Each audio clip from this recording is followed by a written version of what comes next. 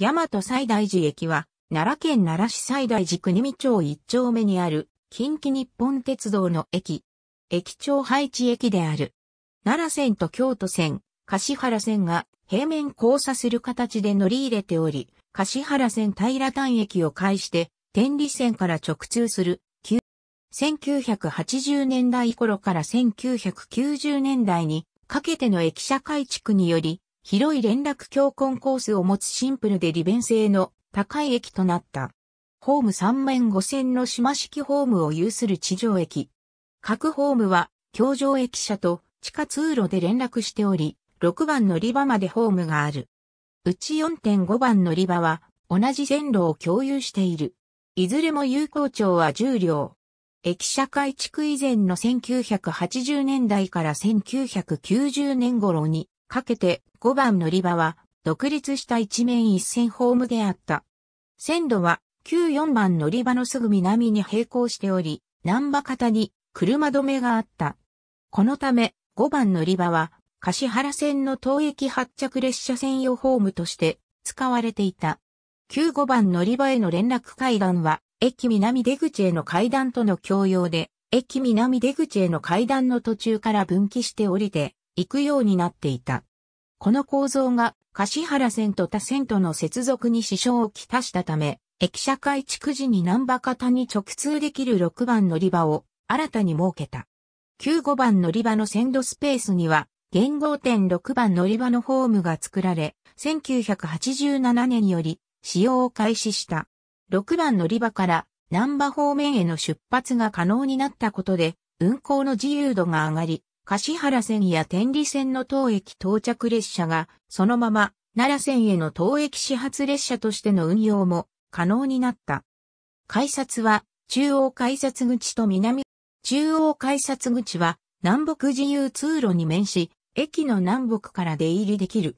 北口花良ファミリーにも近い。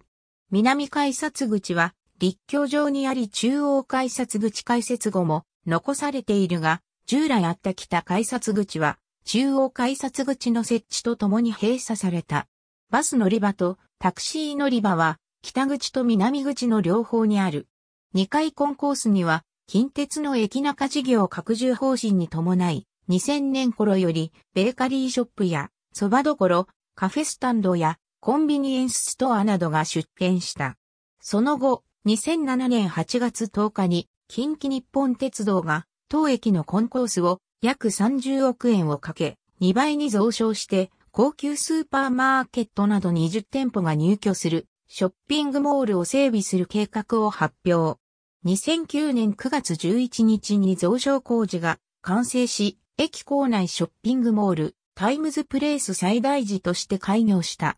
これに合わせて、当ショッピングモールの来客を対象に、当駅の入場料金を不要にするサービスを実施している。当駅は乗り換え客が多いにもかかわらず、長年、駅構内にエレベーターが設置されていなかったが、上記ショッピングモールの増床に合わせて設置工事が施行され、ショッピングモール開業時に供用を開始した。駅構内近年の1日あたりの乗降、乗車人員は下記の通り。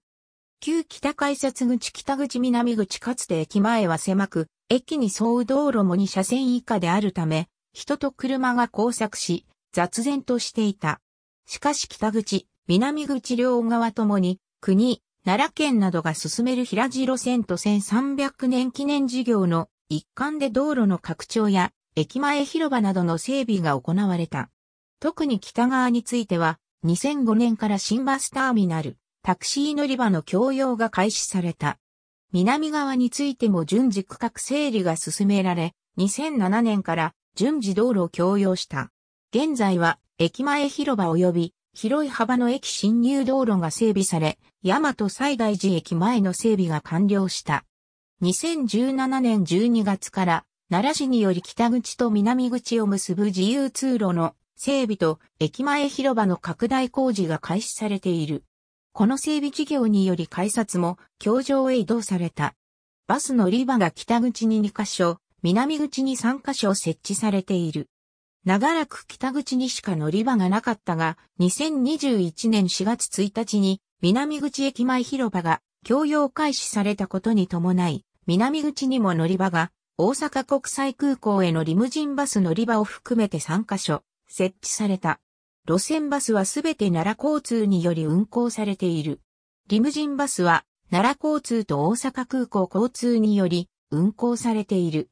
また2021年4月以降、南口からはぐるっとバス、大宮通りルートも発着している。発着するバス系統は以下の通り。細かい経由地については営業所このほか、奈良競輪開催日には北口から奈良競輪場への無料送迎バスが発着する。南口より平常旧席内でのイベント開催時に無料シャトルバスが運行されることがある。ありがとうございます。